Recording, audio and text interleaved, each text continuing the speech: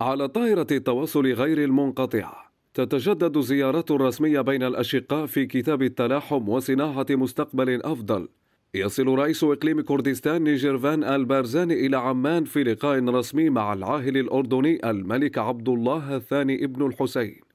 التجاذب بين أربيل وعمان جزء لا يتجزأ من التقارب بين الأردن والعراق. فالخطوط والثوابت والمسير المشترك الذي يرسم بأقلام الحكمة الهاشمية نحو العراق يهدف إلى دعم ركائز الاستقرار في البلد الشقيق العراق.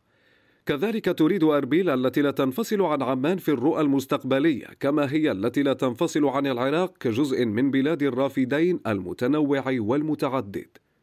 في قصر الحسيني جمع اللقاء الخاص بين البارزاني والعاهل الأردني بما يخدم تعزيز العلاقات المتبادلة والثنائية وتعاون اقتصادي.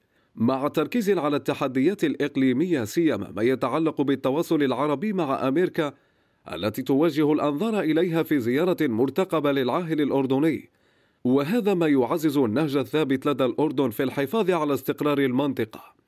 جهود دبلوماسية وزيارات رسمية لن تكن الأولى بين الجانبين. لكنها تعزز تفاعل الآراء والفهم المشترك لقضايا مشتركة سيما ما يتعلق بملف الإرهاب والتفاهمات السياسية والعلاقة بين البلدين وحرص الأردن على أمن واستقرار العراق.